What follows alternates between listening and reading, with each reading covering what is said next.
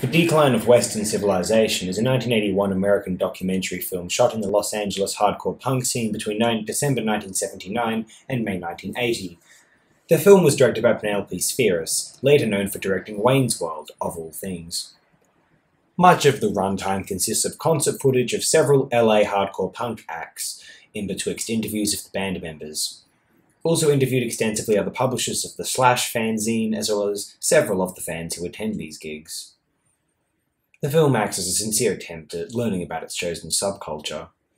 The title is mocking in nature, a potential sneer at those who might refer to these budding tendencies of Generation X as the decline of Western civilization as we know it.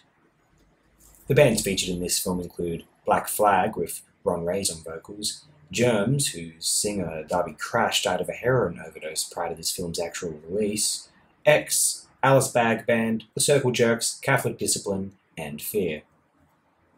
I'm not personally the biggest fanatic of the American hardcore punk movement, although the Germs LP GI is one of my favorite rock albums ever, and probably my favorite thing in American punk, unless we count a Stooges album.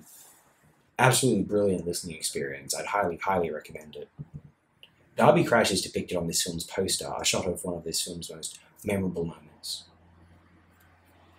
I'd like to now read out a contemporaneous review of this film from Variety magazine. Here we go. The best rock music docus over the years have always managed to complement the presentation of live performances with an acute sense of the sociological moment, and so it is with the decline of Western civilization. A bracing, stimulating, and technically superb close up look at the LA punk scene. Pick is pitched at a perfect distance to allow for simultaneous engagement in the music and spectacle, and for rueful contemplation of what it all might mean. Advertised preview is set for Mann's Hollywood at midnight tonight, and film's quality and unusual content indicates a bright BO future in specialized venues. Artistic strategy here is to combine provocative performance footage with at home interviews with punk group members and talks with club owners, managers, critics, and hardcore fans, while not aspiring to be the, to the comprehensive film to the comprehensive, film nevertheless constitutes a 100 minute total immersion in the indigenous California punk world and will probably prove satisfying to those involved in it as well as the curious onlookers who have thus far resisted first hand exposure. While a few of the rockers come off as artificial poses, many more surprise through revealing articulation of whys and wherefores of their lifestyle, and what comes through most strongly is purity of their dedication to their music. As most local bands are without major label affiliation, and several on view here are considered too disruptive to book by most clubs, musicians exist on a subsistence basis and speak of how they make no money from their gigs.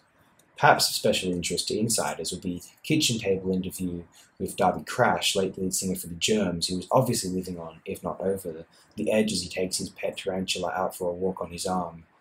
Lensing out of the club dates leave nothing to be desired, as essentials of the acts themselves are well captured in incessant slam dancing of the spectators provides a frenzied background. Film soundtrack album has already made a strong impression on the charts. And while recording quality is excellent, Pick also has the wit to provide written subtitles of certain songs which of which delivery allows for no comprehension. Given top-notch craftsmanship, it's hard to believe effort was made independently for $100,000 and well nigh impossible to detect the 35 mm print as a 60 mm blow 16 mm blow Producer director Penelope Spheeris made several shorts for Saturday Night Live and produced Real Life for Par and Albert Brooks before embarking on this project in 1979. Pick manages to bring insight and unity to an anarchic, not easily explained scene and delivers the musical goods at the same time. In my opinion, this is far and away the most interesting of Spheeris' Decline trilogy. The metal years were hollow, and she was clearly trying to mock her subjects. Not that they ought to be free from mockery.